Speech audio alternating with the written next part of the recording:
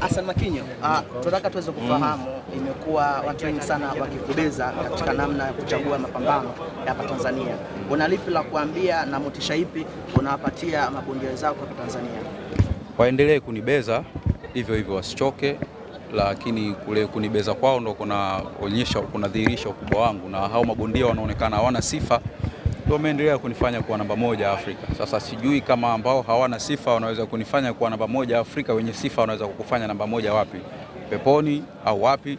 Hiyo ni juu yao. Kwa hivyo siku zote maishani fanya kitu ambacho ni sawa kwako na ambacho kinakupendeza wewe katika hali yoyote. Kwa hiyo niko kwenye njia yangu na naishi maisha ambayo nilikuwa naishi siku moja kuyaishi katika boxing. Kwa hiyo hiyo inatosha.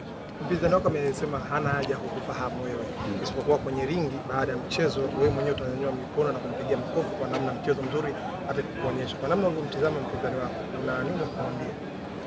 Watu wengi wanaoharibikiwa na ndoa zao huwa wanawatazama wanawake wanavyoonekana kwenye macho yao, lakini unavyoishi na mtu ndo unamjua. Kwa hiyo majibu yake atayapata baada ya pambano kuisha na yeye katika alichokisema. Kuna swali Hasani amekuwa ni master sana kwenye KO. Tutegemee kesho itapatikana KO. Uh, kitu kimoja watu waelewe, mimi ni knockout artist.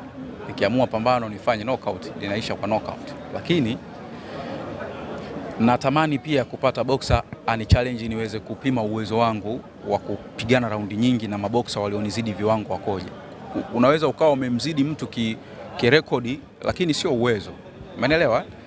Eh, kuna watu wana maarifa lakini wako mtaani na kuna watu hawana maarifa lakini wana vitu vingi ambavyo watu wenye maarifa hayo hawana. Kwa hiyo natamani na mimi nijifunze pia kutoka kwake, lakini kama atakuwa na pupa atalimaliza pambano mapema mwenyewe.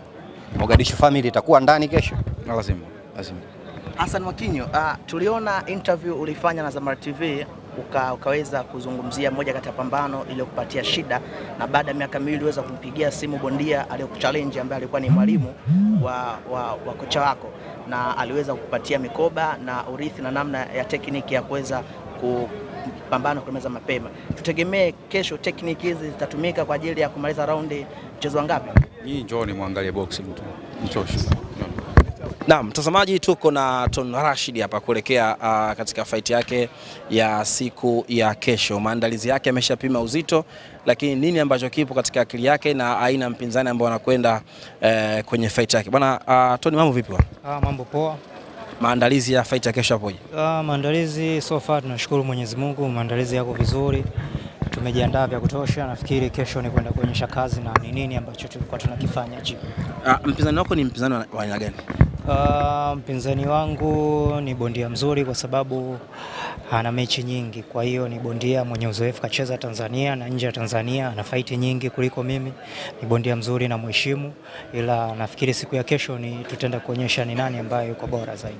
Hakuna mtu asiyemfahamu uwezo wa Ton Rashid na nini ambacho kesho anakwenda kuhakikishia wapinzani wao katika uh, game ya fight yako ya kesho. Uh, kitu tu nachotaka tu kuwaambia mashabiki zangu wategemee mchezo mzuri na kesho tutaibuka na ushindi kama kawaida. Sawa. Uh, Tony ni kama bondia, ni kwa namna gani sasa hivi tumeona fight nyingi zimekuwa hatuzing'amui kama ilivyokuwa zamani kati Azam wanarusha. Ni kwa namna gani uh, game yetu ya masumbwi unaiona kama kidogo imekosa mvuto?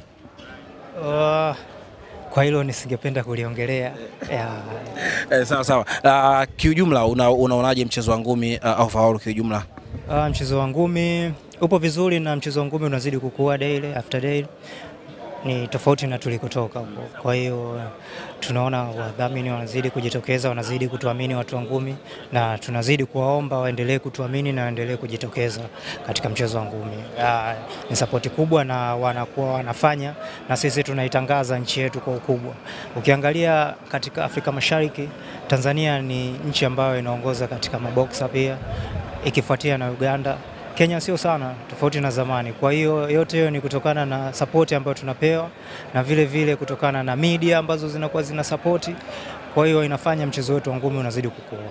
Ni bondia gani sasa hivi unamtamani kweli kweli? Au ushapiga usha washakaa wengi sana. Yupi sasa hivi sasa ambao unamuona kama unatamani sana ah, fight hii naitamani sana. Ah, mimi waga sichague bondia wa kucheza naye. Nafikiri mara nyingi kambi yangu inakopo inaangalia yupe bondia ambaye tutacheza naye kwa wakati gani, atatufikisha wapi.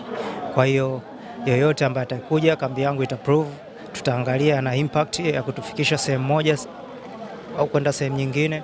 taruka nayo. Baada ya fight hii kuna fight yoyote tuitegemee kumwona Tun Rashid akienda fight iwe ndani ama nje mpaka mipaka ya Tanzania? Ya, inshallah tuombe Mwenyezi Mungu, nafikiri mwezi wa kumi na mbili tunaweza tukarudi tena. Tukala Christmas vizuri. Ya, sasa hivi itakuwa ni back to back. Mwezi wa sita, mwezi wa sita mwishoni nilicheza, mwezi huu nashukuru Mungu nacheza, lakini pia mwezi wa kumi na mbili pia nacheza. Asante sana ndugu. Ya, nashukuru.